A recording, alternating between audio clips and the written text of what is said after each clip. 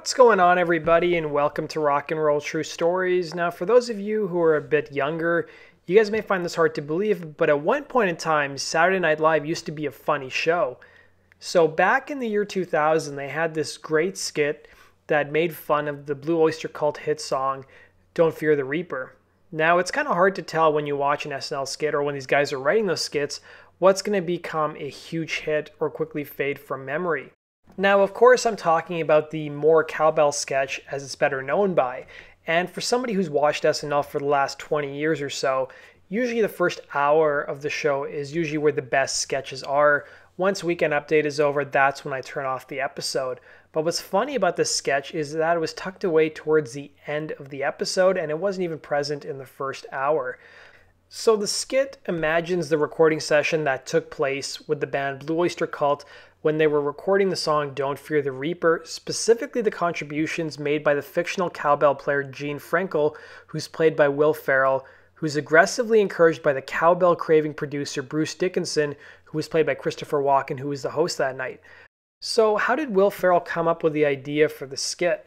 So, the idea came to him when he was listening to the song Don't Fear the Reaper over the years, and he told an interviewer every time I heard the song, I would hear the faint cowbell in the background and wonder, what is that guy's life like? So he co wrote the sketch with his friend and playwright Donnell Campbell. And Ferrell first submitted it for an episode with Norm MacDonald as the host, which would air on October 23, 1999, almost six months prior to when it actually aired. Now, SNL's executive producer Lorne Michaels was unsure about the premise, although the sketch played well among the crew at the table read. So, according to Seth Meyers, who is the head writer for several seasons on the show, he said the sketch was submitted over seven times before finally making the show, and Ferrell would end up rewriting the sketch when Christopher Walken was scheduled to host to fit the actor's rhythm. So the sketch was put near the end of the episode where more offbeat and odd sketches then air. Now, apart from the whole premise being hilarious, the other most memorable part of the skit is that some of the actors had trouble keeping a straight face, including Jimmy Fallon and Horatio Sanz. So they found Ferrell's acting along with Walken's stone-faced performance so funny that they were all on the verge of breaking character and ruining the skit several times. So throughout the skit, they do different takes of the song with different levels of cowbell. So on take two, you can see Christopher Walken through the booth glass laughing as Ferrell's too tight shirt rides up, exposing his stomach and chest hair while he's dancing and playing the cowbell.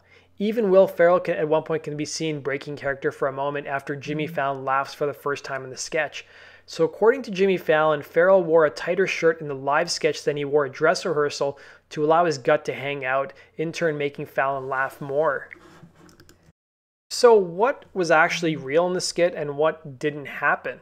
So, if you guys have listened to the song Don't Fear the Reaper, the cowbell is present in the song, although it's largely drowned out by the rest of the instruments. So, one thing that wasn't correct in the skit is that the recording session they say takes place at Sunshine Studios in 1976.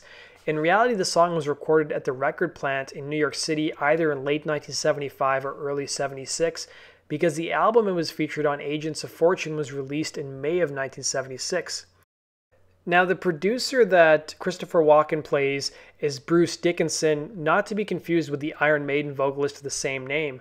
Now, Dickinson was not the actual producer of the song. The song was produced by David Lucas, who had discovered the band and produced their first album, as well as Agents of Fortune and Spectres. So, the actual Bruce Dickinson was a mid level manager at Columbia Records, whose name appears on Blue Oyster Cult's reissue CD and a greatest hits compilation as the reissue producer. So, the SNL intern who sent out to get the record got a hits compilation CD instead of Agents of Fortune. Now, Will Ferrell later revealed that a woman working in the art department of SNL was the daughter of the man who worked on Agents of Fortune. She reportedly told him that the band had seen the sketch and said the actual cowbell player in question was not unlike Ferrell's interpretation. So, producer David Lucas on his website and in interviews when he was inducted into the Buffalo Music Hall of Fame says that he was the one who played the cowbell on the record. So, what did the band Blue Oyster Cult think of the skit? It's been claimed that the skit is possibly one of the top 10 funniest skits of all time in the show's history. Now, soon after it aired, word quickly filtered back to the members of Blue Oyster Cult who were in the midst of a resurgence of sorts. So, two years before the sketch aired, they'd released their first album of new material in, in over a decade. It was 1998's Heaven Forbid, and were preparing their next effort, which would be 2001's The Curse of the Hidden Mirror. While neither of those records really enjoyed the sales of some of their past records 20 years prior, they continued to tour steadily, and while Ferrell's version of Reprocession was wholly imagined, it wasn't too terribly far from the truth. So, according to Blue Oyster Cult drummer Albert Bouchard, ironically, it was similar to what happened in the skit. We had a whole bunch of overdubs on the song, and one of them was Randy Brecker. He was a flugelhorn part on it, or a trumpet or some sort in the middle part that we didn't like. So I said, hey, I want to do a triangle on that part, and that's what I want. I really hear a triangle in my head. So, according to Bouchard, it was a composer and jingle creator David Lucas who made the faithful call to add more cowbell instead of triangle. I just want to hear that sound, Bouchard recalled Lucas insisting, and I said, okay, I'll play it.